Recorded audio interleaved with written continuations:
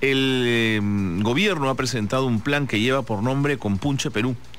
Eh, ¿Y qué es importante de este programa? Se lo queremos, eh, se lo queremos preguntar a un economista para que nos pueda decir desde su perspectiva si las medidas que se están tomando en cuenta en este programa son reactivadoras o no. Esa es la duda. Por eso Jorge Guillén, economista y profesor asociado de SAN, está esta noche con nosotros para conversar en torno, en torno a ese tema. Jorge, ¿cómo te va? Bienvenido. Gracias por estar con nosotros. ¿Qué tal? ¿Cómo están? Buenas noches. Jorge, pongo sobre la mesa algunas de las 18 medidas presentadas por el gobierno y tú nos das, tú nos das tu punto de vista, nos das tu opinión al respecto. ¿De acuerdo?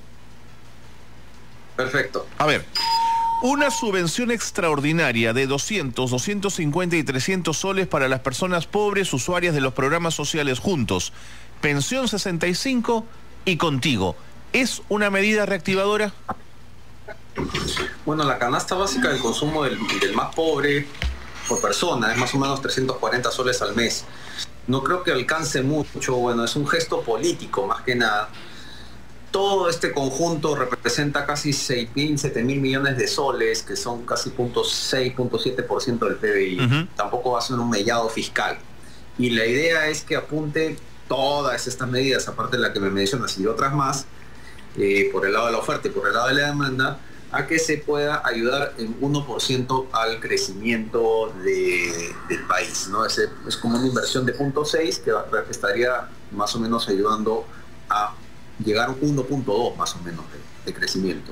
De acuerdo, el programa también contempla el fortalecimiento del programa Ollas Comunes, con una inversión de 100 millones de soles para fortalecer a 3.355 establecimientos y llegar a 224.000 personas. ¿Qué te parece, Jorge? Sí, bueno, son, son medidas que más o menos tratan de resolver en parte, paliar, porque incluso en esa presentación de, del programa de Pulche País del ministro Contreras, muestra pues que la pobreza no se ha reducido con respecto al 2019, el empleo adecuado tampoco, las remuneraciones están bajas con respecto a antes de la pandemia. Entonces están tratando de paliar un poco, pero no van a resolver el problema de inicio, ¿no? Del, marco precedente que es el problema de pobreza. Van a paliar en algo porque también nuestro margen de maniobrabilidad fiscal es muy pequeño, ¿no? Entonces mm. ya no estamos con tanto liquidez para inyectar. Pero en parte ayuda y es una señal política y lo bueno es que viene del Ejecutivo hacia el Congreso, ¿no? Ya no es al revés, ese mecanismo a mí no me convencía mucho, que el Congreso te, brinde las, las medidas que le competen al Ejecutivo. Algunos de los puntos, Jorge, que te quiero mencionar, desde mi perspectiva, forman parte ya de programas existentes que con el estímulo económico podrían ir un poquito más rápido. Por ejemplo, se habla de la aceleración del programa de masificación del gas natural con una inversión de 491 millones de soles. ¿Qué te parece esta propuesta? Esa es una buena propuesta. Ojalá que se llegue a, todos los hogares, porque por lo general los estratos B, a, tienen algunos distritos en Lima tienen este, el gas, no en las zonas donde se, genera el gas, que es Cusco o en, la Sierra Sur, lo que es contradictorio, son los que tienen y no lo pueden disfrutar, la población no la puede disfrutar de tener un, gas este, más barato porque no tiene las tuberías. Esperemos que se ejecute bien. Hay varios proyectos pequeños que están en este plan Punche que están contemplados y esperemos que se ejecute la línea 3 del metro y todo, la expropiación, básicamente, una cantidad de dinero para, para la expropiación de los terrenos. Esperemos que se ejecute. Ay, Jorge, cuando me hablan del metro a mí, yo creo que ni yo ni mis nietos veremos la línea 2 al paso al paso que vamos, eh, Jorge, ya casi 10 años para la construcción de una línea de metro es inaceptable. Pero en fin, y esa es otra, esa es otra discusión, Jorge. La línea 1 demoró 25 años. también también es verdad. También es verdad. Y, lo malo es que no puede ser que cuando vas de línea en línea, en, Europa o en otros países, las líneas se hacen en paralelo. Así es. No vas a terminar una Así y esperar 25 años para hacer la otra, ¿no? Jorge, en Europa hay un túnel que va por debajo del mar que une el continente con una isla y lo hicieron en cuatro años. Es otro país, es otra realidad, es Europa, lo que quieras, pero en cuatro años, con esa tecnología complicadísima debajo del mar. Pero en fin, Jorge, nos vamos a empantanar ahí. Quiero preguntarte otra cosa. Eh, se habla del acompañamiento extraordinario a los nuevos equipos de gestión en gobiernos regionales y gobiernos locales. Esta es una iniciativa que yo creo que tiene que trascender largamente a cualquier programa de estímulo económico. Esta debería ser la constante siempre para tener más capital humano en regiones. Sí, exacto. Es, contempla básicamente ejes familiares que hemos, hemos hablado al comienzo, regionales y sectoriales. ¿no? Incluso hasta los sectores, hace una presentación Alex Contreras eh, de sectores más golpeados en la, antes de la pandemia o durante la pandemia, que es este, servicios, construcción, comercio, y están tratando de ayudar aquí y también a través de los gobiernos regionales, ¿no? y, y por el lado del capital humano. Ahora, Esperemos pues que, bueno, no es mucho dinero como te decía, mm. solamente 0.6% del sí, pues, PBI. sí, pues. Estamos tratando de resolver muchas cosas y cerrar las brechas, incluso dice Impulsa mm. Perú, cerrar las brechas es un, es un digamos, un, objetivo bastante grande con un 0.6% del PBI. Claro.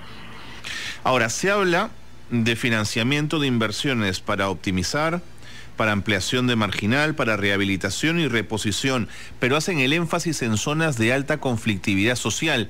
Yo no sé si estas obras, que podrían impactar positivamente, ojo, en estas zonas del país, reduzcan la conflictividad social. Creo que son líneas separadas o cuerdas separadas como, como parte del problema, quiero decir. Sí, eso es lo que yo pensé también cuando estaba leyendo el plan del MEF, ¿no? el marco precedente, digamos, las razones por las cuales lo está haciendo y el poco dinero que tiene para cerrar las brechas de infraestructura y de pobreza y sociales. Y justamente tratar de focalizarse en las zonas de conflictividad. Pensé también en eso de si se va a resolver o no, porque la comunicación parece que es diferente, parece que nosotros habláramos otro idioma ahora entre tú y yo y, los que están recibiendo eh, los dirigentes o las personas tienen otro objetivo y también quizás si le dejan hacer, porque de repente también lo van a intentar hacer y lo van a bloquear. Mm, eso, es, eso es complicado. Ahora, se está hablando de la entrega de recursos adicionales para proyectos prioritarios, 15 hospitales y 74 colegios que no cuentan con recursos para realizarlos. Siempre la inversión pública en cemento eh, dinamiza, digamos, es un generador de mano de obra o me equivoco, Jorge? Sí, es un multiplicador, porque justo como te decía, el punto 6% que es la inversión va estaría representando, según los cálculos del MEF, 1.2 para el PBI. O sea, hay un efecto multiplicador, y ese efecto multiplicador, donde expansiva, va más por el lado de construcción. Aquí pones una carretera y el metro cuadrado se incrementa. Exactamente, exactamente, exactamente. Ahora, sí me parece potente el destrave de los proyectos mineros que significan una cartera de 10.555 millones de soles. Hablamos de Toromocho, ampliación, sulfuros y Anacocha, la extensión de Antamina, que está solicitada hace, hace tiempo. Em, el asunto es ahí si las zonas donde las minas operan tienen o han dado esto que se llama licencia social, que es una, un concepto un poco, poco extraño, un poco melifluo, pero en fin, lo pongo sobre la mesa porque se habla mucho de ello, Jorge. Sí, eh, eh, no sé si, si, este tema va, como estábamos conversando al comienzo, se va a poder plasmar. Claro. Veces, este, hasta al yo recuerdo el primer premier Bellido que hablaba y trataba de hablar incluso este quechua y todo, aún así le bloqueaba. Mm. Entonces, si era alguien que más o menos podía hablar con ellos o que, que quizás se podría identificar con ellos, aún así también lo bloquearon. Y obviamente pues a un premier que, es casi el mismo típico de, siempre, ¿no? Eh, un poco con un poquito más de perfil profesional, más desarrollado, no sé si va, a poder convencer o no. Hay, un, serio problema de comunicación también.